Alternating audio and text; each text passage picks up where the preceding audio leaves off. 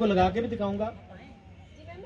Seedling tray में हम बीज को लगाते हैं, मट्टी इसमें भर लें या इसके अंदर पीट मॉस भर लें, ये पाँच दिन से सात दिन के बाद बीज उग पड़ेगा।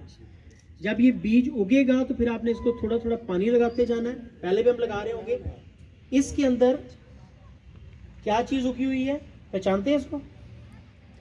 दो दालों वाली कोई भी चीज़ जो डाइकाट होती है डाइकाटलेटनस होती है, वो इसी तरीके से उगती है, चाहे वो खीरा हो, चाहे वो कद्दू